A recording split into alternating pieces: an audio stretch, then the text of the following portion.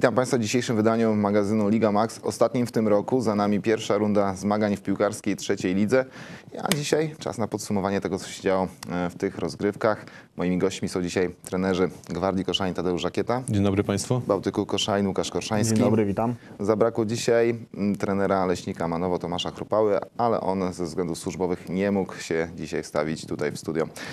Co do podsumowania, Gwardia Koszalin wysoko w tabeli, nisko, cztery kolejki przed końcem lidera, później troszeczkę zabrakło i jednak y, gdzieś to się wszystko rozpłaszczyło w tabeli. No, mam takie wrażenie, że w klubie jest lekki niedosyt. Sam mam taki niedosyt również. Zabrakło jednego meczu zwycięskiego i byśmy byli na, na pierwszym miejscu. Yy, no, krótko taki niedosyt, tak, po tej rundzie. Mogło być moim zdaniem troszeczkę lepiej. Patrząc na, na końcówkę e, pierwszej rundy zmagań, graliście w cztery bardzo trudne mecze całą czołówką ligową. W jaki sposób to pokazywało potencjał i wasz, i tych e, waszych rywali w tej, w tej końcówce? Można powiedzieć, że to taki dosyć trudny terminarz na zakończenie czy rundy, czy sezonu. No tak, yy, akurat cztery bardzo mocne zespoły. Nie zapunktowaliśmy za bardzo z nimi, chociaż yy, uważam, że mecze były dobre w naszym wykonaniu. Szczególnie ubolewam nad, nad meczem u siebie z Bałtykiem Gdynia i nad meczem wyjazdowym w Gdańsku, gdzie w drugiej połowie naprawdę byliśmy bardzo bliscy strzelenia tych dwóch bramek zwycięskich. Y, Słabsze spotkanie, gdzie byliśmy zdecydowanie moim zdaniem gorsi w meczu z Arką Gdynia i zasłużenie przegraliśmy. Co do Bałtyku Koszalin, tutaj dużo trudniejsza sytuacja. No, zespół, zespół w zasadzie nie można powiedzieć, że zaczął słabo, ale później no, były problemy. Przede wszystkim za dużo chyba remisów. Y, Tak, no trzeba powiedzieć, że naszym celem, takim cichym celem, nie mówiliśmy tego chłopakom, ale było zdobycie 18-20 punktów. Y, Wiadomo, że zaczynaliśmy praktycznie w lipcu budowę zespołu od nowa, tak gdzie wchodziliśmy do szatni, było dwóch, trzech doświadczonych zawodników i, i reszta praktycznie juniorzy, także taki przed sobą postawiliśmy cel. Y, No mamy troszeczkę mało tych punktów, mniej niż zakładaliśmy. Y, Trzy remisy. No można powiedzieć, że do ósmej kolejki, to tak powiem brzydko żarło, tak? Mieliśmy po, ośmiu kolejk, po, osmu, po ósmej kolejce mieliśmy 10 punktów i, i dob, dobre prognostyki na przyszłość, bo graliśmy, można powiedzieć, y, z zespołami z dolnych części tabeli. Ten, ten, ten najgorsze, najgorsze mecze były już za nami, no ale, ale doszły, doszły kontuzje, doszły kontuzje y, naszych tak zwanych liderów, Rząsy, Wulkiewicza, gdzie nie zagrali w trzech kolejnych spotkaniach. Yy, Tak, doszło troszeczkę, nam, nam się kilku chłopców wysypało, czy wyjazd za granicę, czy ze względów dyscyplinarnych musieliśmy rozstać się z niektórymi zawodnikami, także, także mówię, brak takiej, takiej gęstości w kadrze i ry, wewnętrznej rywalizacji i w ostatnich siedmiu kolejkach zdobyliśmy tylko trzy punkty. No właśnie do, co do e, końcówki tej pierwszej rundy, akurat można powiedzieć, że Bałtyk w przeciwieństwie do Gwardii to miało dużo łatwiejszą powiedzmy drogę, ale z drugiej strony to były wszystkie mecze tak naprawdę o życie. No tak, no znowu powtórzę to, co, to, co mówiłem, że no, za- zabrakło, nam, zabrakło nam tej licznej kadry i, i zamiast, zamiast wznosić się do góry każdym kolejnym meczem, ci chłopcy nabierali doświadczenia, to niestety ta, w tej końcówce gdzieś, gdzieś to wszystko nam się, nam się zacięło i uciekło, bo takie mecze jak z Raselem e, czy Zastrą, to no, powinniśmy w takich meczach punktować, tak? a zrobiliśmy tylko, tylko jeden punkcik, czy, czy wy, na wyjeździe w Pogoni, gdzie też, gdzie, gdzie też mieliśmy dużą przewagę, dużo sytuacji niewykorzystanych, też tylko remis, także można powiedzieć, y, podeprzeć te, te, te słowa, że no troszeczkę za dużo remisów, bo mieliśmy 7 remisów w tej rundzie, także Dorzucimy jeszcze mecz z Leśnikiem, gdzie prowadziliście 2 do 0. tak jest, tak jest. No mówię, no ta pięciominutowa drzemka gdzieś kosztowała nas y, utratę tych, tych dwóch punktów, ale uważam, że te mecze, te mecze u siebie nieźle graliśmy i, i powinniśmy mieć szczególnie u siebie, u siebie więcej punktów, bo wyjazdy mieliśmy bardzo ciężkie, czy to Kartuzja, która jest liderem, tak, czy, czy Kaszubia, czy Arka Gdynia, Bałtyk Gdynia, także, także naprawdę cięż, ciężkie wyjazdy. I troszeczkę więcej powinniśmy zdobyć tych y, punktów w meczach u siebie, czy to z Kwaszczylem remis 0-0, czy z Chemikiem 0-0, tak, czy z Leśnikiem, gdzie mamy ustawione spotkanie y, 2-0, także mówię, w tych meczach, w tych meczach powinniśmy y, więcej zdobyć punktów, czy dokładając do tego mecz z Raselem i Zastrą, także, także zdecydowanie mogliśmy mieć tych punktów więcej i spokojną zimę, no a tak niestety nie będzie teraz. Spójrzmy teraz na tabelę, jak wygląda sytuacja po pierwszej rundzie zmagań. Kto jest na szczycie, a kto walczyć będzie przynajmniej na razie o utrzymanie. Ostateczna tabela po pierwszej rundzie. Na pierwszym miejscu Gryf Wejherowo z dorobkiem 28 punktów. Długo faworyt rozgrywek czekał na to, by wspiąć się na szczyt ligowej klasyfikacji. Na drugiej pozycji Kartuzja Kartuzy również 28 punktów. Po 27 mają Lechia 2 Gdańsk i Bałtyk Gdynia. Po 26 Gwardia Koszalin i Drawa Drawsko-Pomorskie. 25 Kaszubia Kościerzyna. 24 Arka 2 Gdynia. Dolna część tabeli KS Chwaszczyno 22 punkty, tyle samo Chemik Police 17 Przodkowo, 15 Pogoń, Bałtyk Koszalin i Astra mają po 13 punktów, 11 Leśnik Manowo i 8 punktów Rasela Dygowo. Patrząc na układ w tabeli, e, pierwsze miejsce dla mm, Gryfa Wejherowo to nie jest e, w jakiś sposób e, zaskoczenie, ale, ale z drugiej strony Kartuzja Kartuzy, która ma tyle samo punktów, to chyba już jest niespodzianka. No, tak mi się wydaje, że raczej gry Wejherowo był postrzegany jako faworyt tych rozgrywek, spadkowiec z drugiej ligi. Kadra bardzo mocna, choć y, parę takich zaskakujących wyników było w jego wykonaniu, tak? Natomiast jeżeli chodzi o Kartuzję, to taki zespół zawsze solidny, trzecioligowy, gdzieś tam plasujący się w górnej części tabeli. E, No na pewno, na pewno jest. Taka delikatna niespodzianka jest. Może nie sensacja, ale niespodzianka. E, Ostatnia kolejka pierwszej rundy wyglądała następująco, że co chwila się zmieniał lider e, tych, tych rozgrywek. No chyba tak do końca sezonu powinno być, żeby emocje sięgały zenitu. Tak mi się wydaje, że walka będzie chyba do, do końca. Żaden z zespołów nie odpuści. Mam chyba delikatne wrażenie, że drugie zespoły, zespołów tych e, grających w Ekstraklasie albo w pierwszej lidze mogą gdzieś tam e, tracić punkty. Natomiast pozostała grupa tych zespołów e, będąca w pierwszej ósemce e, będzie się liczyła na pewno w walce awans. Co do e, drugiej części tabeli, tam gdzie w tej chwili jest Bałtyk Koszalin, tutaj no, rzuca się w oczy przede wszystkim to, że cztery drużyny są z regionu koszalińskiego na, na samym dnie, powiedzmy, i te zespoły w tej chwili są e, w walce o utrzymanie. I już się robi jakaś taka dosyć e, spora przestrzeń między tymi zespołami od powiedzmy dziesiątego miejsca w górę, a pozostałymi właśnie w tej walce o utrzymanie. Y, Jeżeli patrząc na, na mecze z tymi drużynami, z którymi graliśmy, to można powiedzieć, że ta tabela według mnie jest podzielona równo. Wydaje mi się, że te zespoły te z tej pierwszej ósemki będą walczyły o, o, o, o miejsce pierwsze, drugie, trzecie, tak? A od dziewiątej drużyny, od Chwaszczyna, y, Chemika, już po tym wspomniałem, to są, to są drużyny jak najbardziej w naszym zasięgu i te mecze z tymi drużynami powinniśmy przesądzić.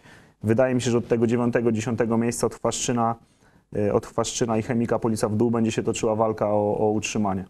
Na pewno okres transferowy już taki powoli się mm, robi coraz bardziej gorący. Obie drużyny zapewne w jakiś sposób zostaną przebudowane. Czy nie? Jesteśmy po pierwszych rozmowach, mamy gdzieś tam swój ranking zawodników, których, których chcemy pozyskać na poszczególne pozycje. E, Były przeprowadzane pierwsze rozmowy kontrolne. Jesteśmy przed kolejnym spotkaniem zarządu. Ustalimy sobie, że tak powiem, grafik e, tych, tych, tych spotkań. Przede wszystkim cele, jakie nas czekają na wiosnę. E, Trzeba będzie po prostu też e, zrobić mały remament w kadrze. No bo wiadomo, że kadra nie jest elastyczna i z gumy będzie trzeba z kogoś zrezygnować, kogoś, żeby kogoś pozyskać, tak? A co do Bałtyku? Y, No tak, na pewno, żeby to, to każdy widzi i wie, że żeby podnosić jakość, to tak samo. Kilku zawodników u nas się sprawdziło, kilku się, się nie sprawdziło. Wiem, że jutro będzie spotkanie zarządu i tak samo będą poczynione dalsze rozmowy, z którymi zawodnikami y, należy się rozstać i, i kogo ewentualnie pozyskać. Tak? No mówię, zaczęliśmy w lipcu od, od praktycznie od budowania, od, od zera tego zespołu. Y, Doszło 7-8 juniorów, 8 zawodników odeszło, także no, jesteśmy na, na, tym etapie, na tym etapie budowy. Tak? Zatem e, w tej chwili obejrzymy to, co było najciekawsze e, w minionej rundzie spotkań, czyli najpierw gole, później, a później będą interwencje, a na koniec oczywiście tradycyjnie małe klopsiki, których trochę, trochę mało było w tej, w tej rundzie, ale też nie zabrakło.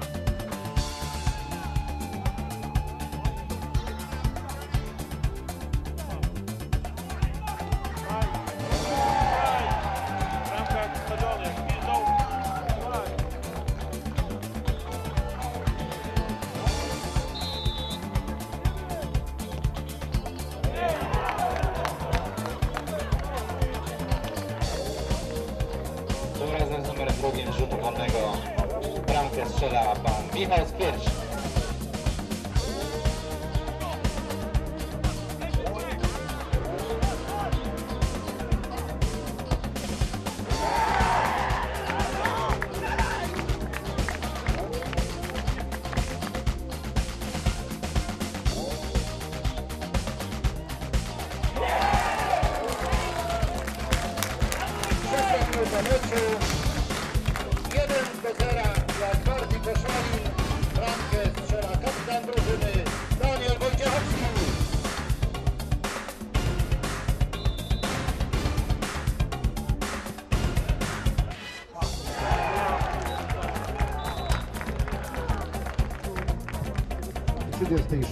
minucie dochodzi do wyrównania meczu.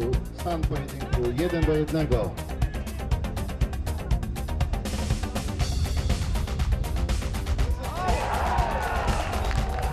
I przepiękne uderzenie Rugiego Kozady. 3 do 1 dla Gwardii Koszalin.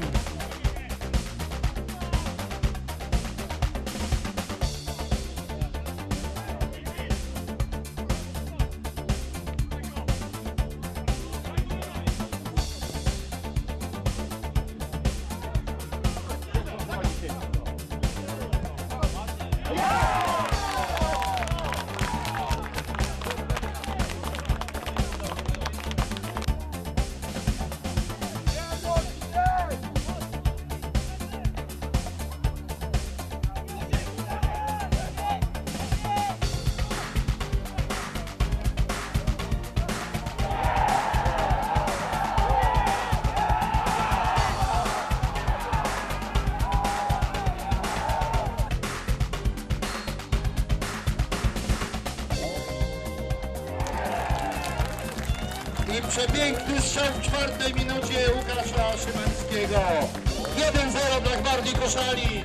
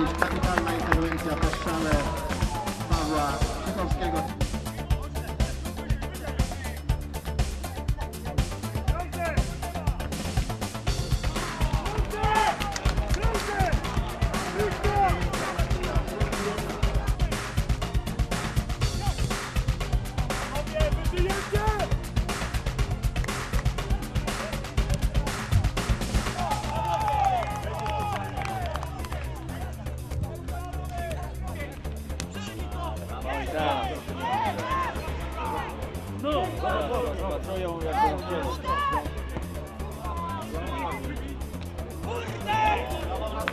udana interwencja Macieja Dulewicza po kontrataku zespołu gości.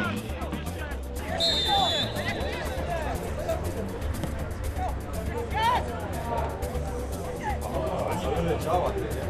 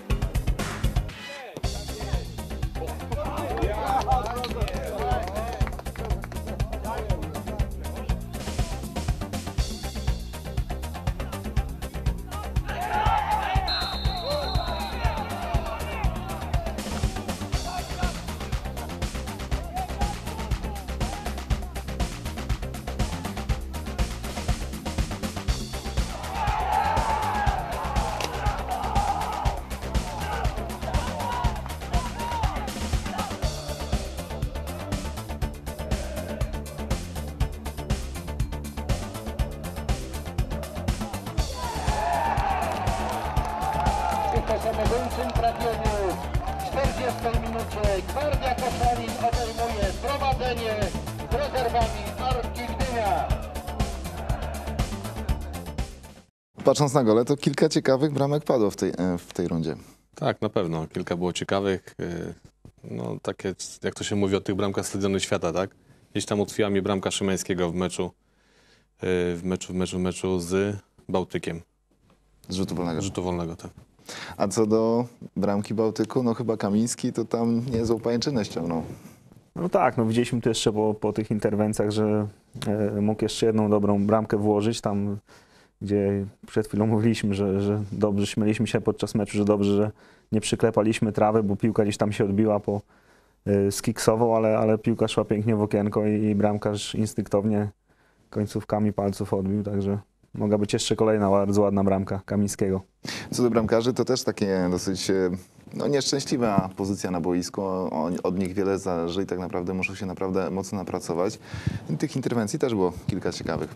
Tak, jeżeli mogę powiedzieć o Fabianie, to parę razy pomógł nam y, w tych meczach, które rozgrywaliśmy.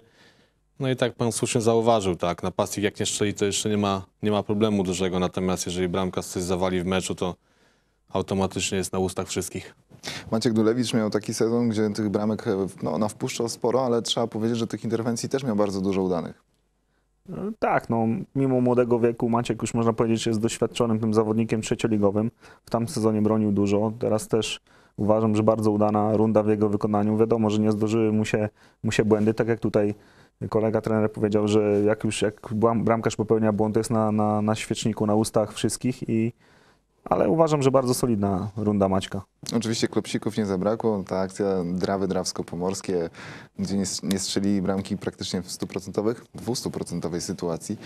Ale z drugiej strony chyba Mateusz Czaja to miał dzień konia w starciu z Drawą Drawsko-Pomorskie. No, tylko wypada współczuć zawodnikowi y, w tym przypadku, no bo gdzieś tam przyczynił się do tego, że te bramki, że, że te bramki padały, tak, no, no nie fart totalny, tak, bo rzadko kiedy się zdarza, żeby taki mecz był.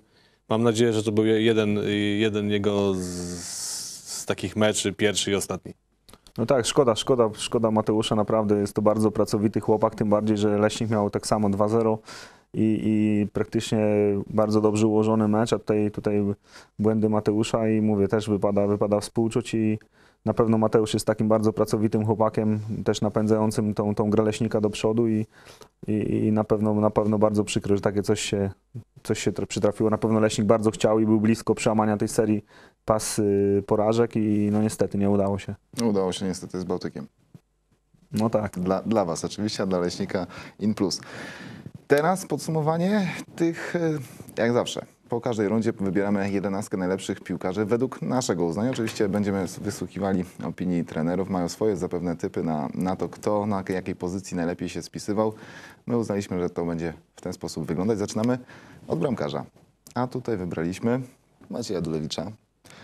Typ to już od nas e, Maciej Dulewicz Pewna runda. Fakt, że bramek troszeczkę Bałtyk stracił, ale mimo wszystko bardzo pewnie broniący.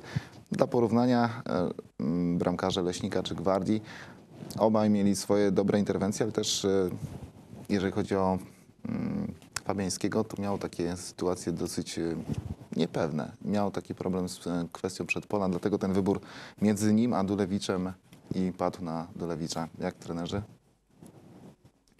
No nie dziś wiadomo, że Fabian lepiej się czuje na linii. Gorzej z jego interwencjami na przedpolu, związane to jest z warunkami fizycznymi. E, Natomiast e, uważam, że ta runda w jego wy- wykonaniu była e, dobra. Mówię, nie przyczynił się do tego, że, że przegraliśmy dzięki temu, że miał słabe interwencje w meczu. A co do Dulewicza?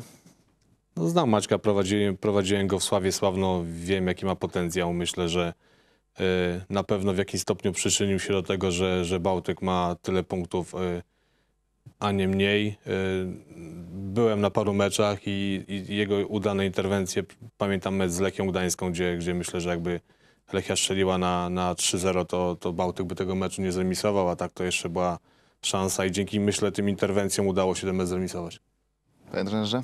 No tak, myślę, że udana runda. Te, te mecze Gwardii, które obserwowałem, to bramkarz Fabiański uważam, utkwił mi się, utkwił mi dobrze w pamięci, także myślę, że tutaj ten, ten wybór był bardzo ciężki, bo bardzo udana runda Dolewicza, ale też myślę udana, udana Fabiańskiego, także myślę, tu gdzieś bardzo blisko byli ci, ci bram, bramkarze w waszej tutaj klasyfikacji. Przechodzimy do pozycji prawa obrona. Tutaj mamy Norbert Dondera. No, akurat uznaliśmy, że no, ciężko było w innych zespołach znaleźć obrońcę, który gra i tak dobrze w ofensywie i no, mocno pracuje w defensywie. Miał oczywiście trochę słabszych kilka występów, ale nie można powiedzieć, nie można mu wiele zarzucić. Dondera jest naprawdę bardzo pracowitym, fajnym zawodnikiem. Y, Myślę, że może być wzorem dla młodych zawodników, y, którzy do gwardii trafiają i nie tylko. Jest to przykład, tak jak powiedziałem wcześniej, pracowitości. Oddaje serducha na boisku. Y, Jego wejścia prawą stroną boiska ofensywne, no gdzieś tam zawsze jak sobie mówimy na, na odprawach, żeby były taką firmową wizytówką gwardii. Y, Rozbiliśmy co prawda ten duet, który był wcześniej Kozawa no, y, Dondera, bo ze względów wiadomo jakich, że szukaliśmy napastnika, ale myślę, że Dondi y, temu zespołowi daje bardzo dużo na prawej stronie boiska. Panie trenerze? Tak, myślę, że tutaj też trzeba się z tym zgodzić. Y, Dondera spośród tych naszych koszalińskich y, zespołów i patrząc pod, pod, na pozycji prawego obrońcy, to był takim najrówniej grającym zawodnikiem i tu na pewno się trzeba zgodzić z tym, z tym wyborem. Kolejna pozycja to oczywiście jeden ze stoperów. Kogo mamy? Daniel Wojciechowski, wybór na, na tego zawodnika. W zasadzie już już tradycyjnie on jest e, w tej 11 rundy. Bardzo porządny obrońca, zdobywa sporo bramek, trzy bramki w, w tej rundzie. No, troszeczkę miał, miał lepsze, lepsze rundy, jeżeli chodzi o skuteczność w ataku, ale nie chodzi o to. On przede wszystkim ma kierować defensywą i tu chyba wybór był jednoznaczny. Na dzień dzisiejszy nie wyobrażam sobie tego zespołu bez Daniela Wojciechowskiego. Bardzo pozytywna postać, y, kapitan drużyny. Oprócz tego, że wykonuje naprawdę bardzo dobrą robotę na boisku, gdzie i kieruje defensywą i praktycznie całym zespołem, a oprócz tego jeszcze w ciężkich, trudnych warunkach na początku rundy zdobywał bramki, które dawały nam punkty, to, to naprawdę y, też y, trzyma całą szatnię i, i, i jest jakby odpowiedzialny za atmosferę, która panuje w zespole. Dla mnie y, nominacja jego na, na tą pozycję nie podlega w ogóle dyskusji.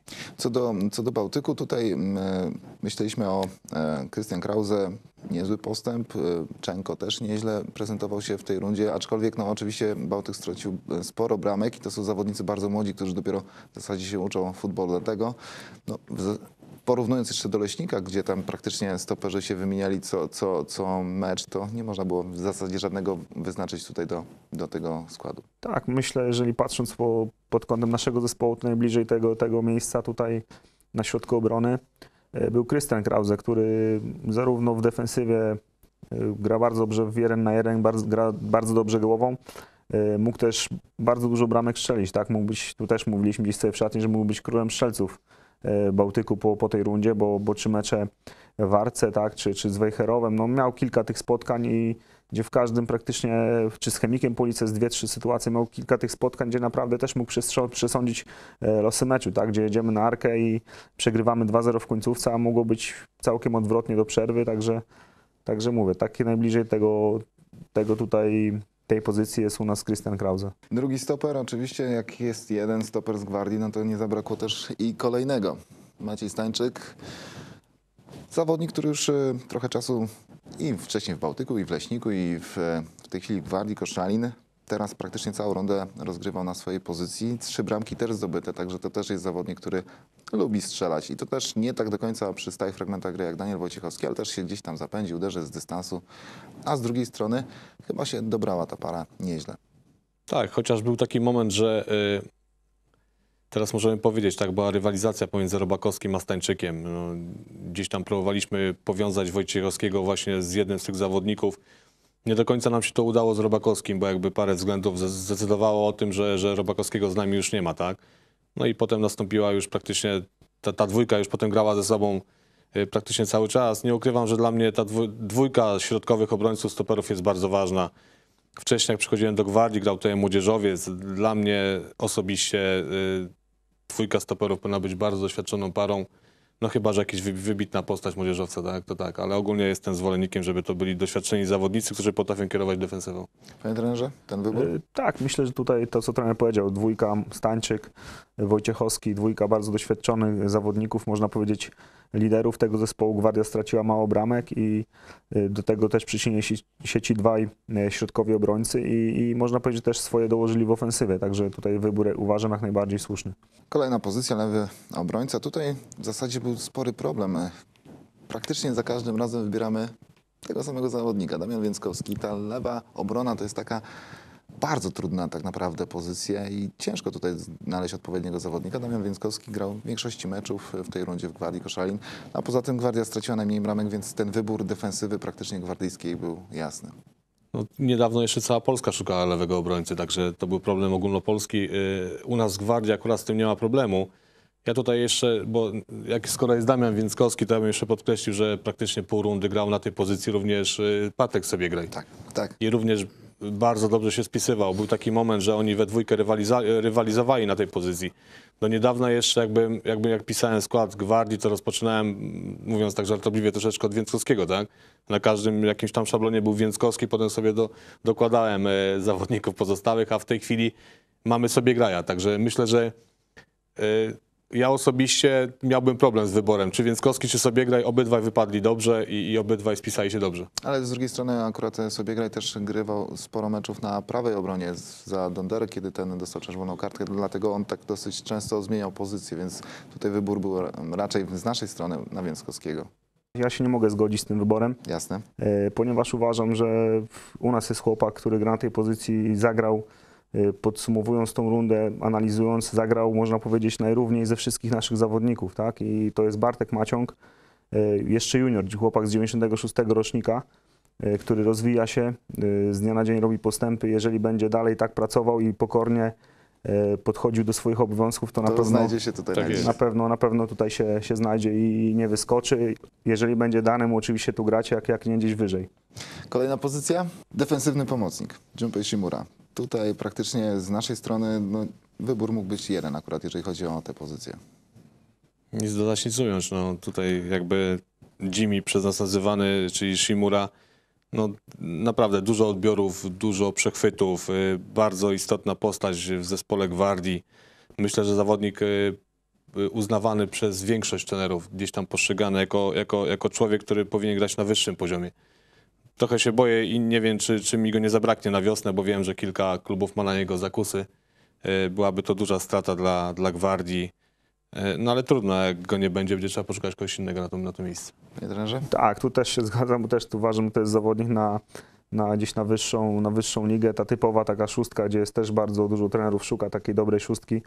E, typowa wycieraczka i można powiedzieć, że mimo wszystko mi się wydaje, że Shimura i tak tą rundę miał słabszą niż, niż poprzednie, tak? Ale, ale jak najbardziej wybór, wybór zasłużony.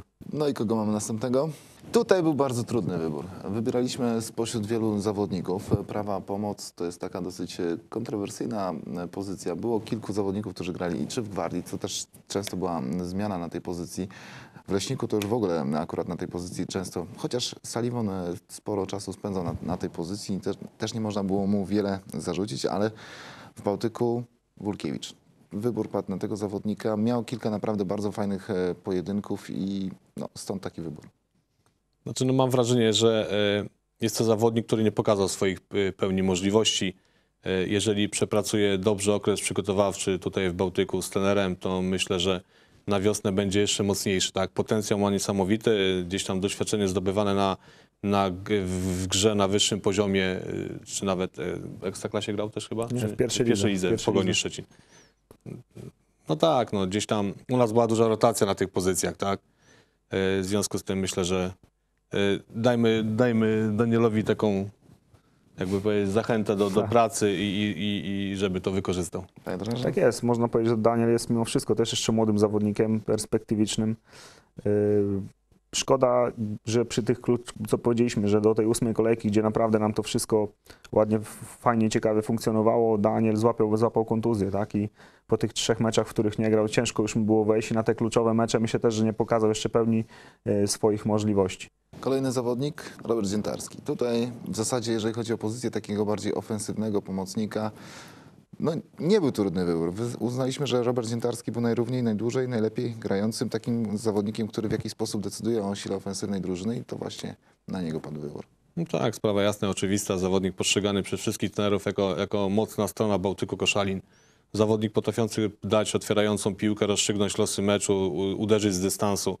E, Również z doświadczeniem e, ligowym e, z poprzednich lat. Myślę, że od, odkąd jest w Bałtyku, to jest naprawdę, naprawdę mocna siła tego zespołu. No tak, tutaj mam statystykę, że no, statystyka mówi, mówi dużo i Robert ma, ma w tej rundzie 5 bramek, 5 asyst, tak, gdzie praktycznie od, od tej trzeciej, czwartej kolejki gdzieś tam trenerzy wymieniają się między sobą poglądami i, i praktycznie przy każdym kontakcie Roberta z piłką był podwajany, potrajany, co też e, świadczy o tym, że, że był, doceniany przez, przez przeciwnika, no i też nic dodać, nic ująć. No. Zgadzam się w pełni e, tutaj z tym wyborem. Drugi pomocnik środkowy, Łukasz Szymański. Tutaj uznaliśmy, że Łukasz Szymański grał równo, nieźle. Bramka z rzutu wolnego, to już o tym rozmawialiśmy, ale mimo wszystko miał też duży wpływ na linię środkową boiska w Bali Koszalin. Dokładnie. Zawodnik typowy środka, środka boiska, środka pola. Na pewno bardzo ważna, kluczowa postać w moim zespole. Zawodnik y, potrafiący uspokoić grę, w pewnych momentach przyspieszyć, także taki typowy playmaker. Y, y, Żałuję tylko, że zbyt mało bramek zdobywa z tych stałych fragmentów gry, natomiast no, pokazał, że go stać na to. Obiecał mi, że na wiosnę troszeczkę więcej popracuje nad tymi stałymi fragmentami gry i gdzieś tam zostanie po treningach, bo mm, naprawdę ma tą prawą nogę fajnie ułożoną. Tak, tak, też się zgadzam i mówię, nam brakuje takiego zawodnika, który z ustawionej piłki, z tak zwanego stałego fragmentu gry, gdzieś potrafi dośrodkować tą piłkę w punkt, tak, Łukasz to ma i uważam, że to była jego niezła runda, bo też mu się przyglądałem, bo jest wychowankiem Bałtyku i, i przyglądałem mu się i, i na, pewno, na pewno to ma i myślę, że też młody jeszcze zawodnik, perspektywiczny, też z nadziejami na grę gdzieś, gdzieś wyżej. Sporo problemów mieliśmy z ustaleniem zawodnika, który najrówniej grał na lewej pomocy. W Gwardii Aleksander Karbowiak e, bardzo długo, bardzo długo e, grywał na tej pozycji, bardzo często był wystawiany w podstawowej 11, aczkolwiek no, miał swoje lepsze, słabsze mecze. W Bałtyku Koszalin tutaj jest e, duża, duży problem, bo jest Tomasz Kamiński, który miał bardzo dobry bardzo dobrą rundę, sporo bramek, które naprawdę przeważyły, przesądziły o losach spot- spotkań. No, może nie za bardzo dużo, ale trzy takie bardzo istotne trafienia. No ale jednak Paweł Rakowski. Leśnik Manowo, tu uznaliśmy, że zawodnik, który ma duży wpływ na zespół, który w jakiś sposób e, pomaga tej drużynie w rywalizacji, jest jeszcze w jakiś sposób liderem e, tej ekipy, mobilizującym taką osobą, która w jakiś sposób podbudowuje zespół i stąd taki wybór. Panie trenerze? Mało widziałem meczów Leśnika, natomiast y, no, znam Rakowskiego, y, że tak powiem, bo też wcześniej mu się przyglądałem i gdzieś tam był w kręgu naszych zainteresowań. Y, Skoro tak padło, to myślę, że na jakiejś podstawie to, to, to zostało zrobione. Natomiast jeżeli chodzi o, odniosę się do Karbowiaka, tak, bo y, Karbowiak to jest młody zawodnik, który praktycznie pół roku temu stażował, że tak powiem, tak, dostawał minutówki. W tej chwili od tej rundy gra, można powiedzieć, y, w podstawowym składzie i faktycznie końcówka rundy dla niego była bardzo ciężka. Y, Narzekał, że, że jest przemęczony i tak dalej, i tak dalej, i tak dalej. W związku z tym też jego występy nie do końca były udane, ale jakby wiadomo, no jest młodzieżowcem i gdzieś tam było trzeba kombinować i, i wstawiać i sztukować, ale myślę, że to jest potencjał na, na przyszłość. Chociaż y, tutaj wejdę jeszcze, bo myślę, że za chwilę Łukasz się odniesie do, do Kamińskiego. Y, Podobał mi się ten chłopak. Także naprawdę te bramki, które zdobywał i gdzieś tam no był taką mocną siłą, myślę, że na skrzydle i, i chyba osobiście chyba też jest zadowolony z jego postawy. Tak, jestem zadowolony, mówię. Ogólnie jestem zadowolony z naszej gry, gry naszej lewej strony i Maciąg Kamiński to są zawodnicy, którzy się dobrze znają, dobrze się wymieniali. Patrząc, analizując mecze, bramki, które straciliśmy, to można im bardzo mało zarzucić w tych naszych wszystkich straconych bramkach. I bardzo dobrze rozumie, rozumie się ta para, chociaż odnosząc się do Tomka Kamińskiego, to też trzeba powiedzieć, że nie, nie wiadomo, czy, czy u nas zostanie, tak? To jest na pewno chłopak z 95 rocznika, tak, także bardzo młody zawodnik dopiero, który skończył wiek juniora. I, I też wiem, że gdzieś są tam zakusy na, na tego chłopaka, chociaż on sam też mówi, podobnie jak Karbowiak, ostatnie te mecze też czuł takie troszeczkę zmęczenie i też gdzieś jakieś zaszłości, kontuzje, także ta, tą rundę można powiedzieć, że tak samo jakby przepracował, przepracuje dobrze zimę, to naprawdę będzie, będzie, z, będzie z niego jeszcze większy pożytek, jeśli oczywiście tutaj u nas zostanie. Także spora konkurencja na tej pozycji będzie. Tak.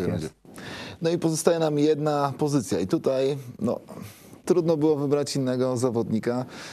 W Bałtyku problem z napastnikami, można tak to określić, dlatego ciężko było tutaj wybrać napastnika z Bałtyku Koszalin. Jeżeli chodzi o Leśnika Manowo, bardzo słaby sezon, jeżeli chodzi o zdobycze bramkowe Konrada Romańczyka, który poprzednią rundę miał e, zdecydowanie lepszą. E, Mateusz Wiśniewski również raz gra, raz nie gra. Ryuki Kozała strzał w dziesiątkę trenera Żakiety. I to do- dopiero w połowie rundy. No tak, gdzieś tam jak to zawsze była taka sytuacja troszeczkę przypadku. Yy, sytuacja nas zmusiła do tego, żeby próbować kolejnego zawodnika. Yy, nie ukrywam, że gdzieś tam też po części yy, rozmowy z zawodnikami w szatni, yy, żeby go spróbować na tej pozycji. No, także postawiliśmy na niego, zaskoczyło, zdobył, zdobył naprawdę dużo bramek dla nas. Ostatnio chyba ty, tyle Magdziński zdobywał. Także na pewno, na pewno, chociaż końcówkę rundy miał już mniej udaną, z tego względu mi się wydaje chyba, że już poszła fama, że, że trzeba go bardziej przykryć, przypilnować i już było mu trudniej grać, tak? A w momencie, gdy jeszcze nie był taki, taki rozstrzelany, no to, no to było mu zdecydowanie łatwiej. Panie trenerze? Tak, tak, no śmieję się, bo kiedyś y, po meczu z Chemikiem Police Gwardii, jak tutaj byłem w tym studiu, to gdzie, gdzie Ryuki strzelił y, bramkę, to sam powiedziałem, że to jest taki y, chłopak z szybką nogą, tak, ciężki bardzo do krycia i mówię, tam pokazał kunsz w meczu z Chemikiem i tu też uważam, że trener strzelił w dziesiątkę, nawet w jedenastkę bym powiedział. No i odkrył napastnika. No. Także na kolejną rundę tych pozycji na, na, do konkurencji dla naszych zawodników jest sporo. No, jak tutaj rozmawialiśmy, no, konkurencja jest coraz mocniejsza i coraz lepsza na niewielu pozycjach, także no, zobaczymy, czy w przyszłej rundzie ta jedenastka się znacząco zmieni lub nie zmieni. Zobaczymy, jak to będzie po kolejnych rozgrywkach. No właśnie, przed nami, przed nami druga runda zmagań. Przygotowania zapewne gdzieś tam w styczniu e, ruszą. Trenujecie jeszcze pewnie na roztrenowaniu, ale patrząc na tabelę, na na mistrza jesieni. Do tej pory bywało to różnie. Mistrz jes- jesieni wygrywa e, pierwszą rundę, a później niekoniecznie zostaje mistrzem, mistrzem rozgrywek. Jak, jakie cele waszych zespołów, a przy okazji jak to ma do końca wyglądać? Znaczy, no, ja osobiście chciałbym grać jak, jak najwyższe cele, tak? Myślę, że mamy zespół w miarę poukładany, w klubie również jest, y, jest, jest dobrze, jest gdzieś tam y, współpraca na linii prezes, trener y, również układa się dobrze. Jest gro zawodników y, w zespole, która również chce powalczyć o coś. No zobaczymy, jesteśmy przed rozmowami, y, na dniach kolejny zarząd, kolej, kolejne rozmowy. Zobaczymy, jak uda nam się posklejać kadrę przed, przed y, przygotowaniami styczniowymi. Czy uda nam się pozyskać zawodników, których gdzieś tam mamy w planach?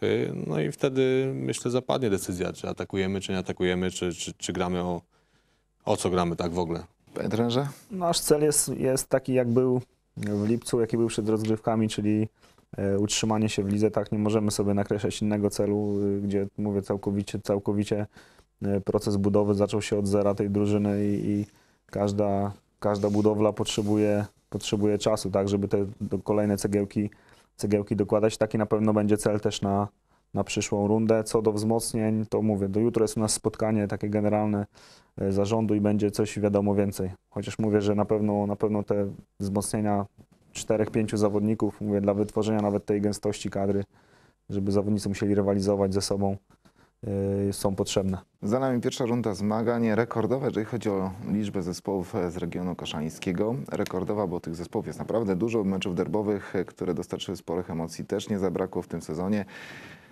Kolejna runda przed nami. Zmagania wiosenne rozpoczną się w marcu. Na Państwa zapraszam na również te zmagania, a także kolejne wydania Ligi Max przed pierwszą kolejką spotkań w rozgrywkach wiosennych już w 2015 roku. Moimi gośćmi dzisiaj byli Tadeusz Żakieta, trener Gwardii Koszalin, a także Łukasz Korszański, szkoleniowiec Bałtyku Koszalin. bardzo. A ja zapraszam Państwa za trzy miesiące? Trzy miesiące. Do zobaczenia.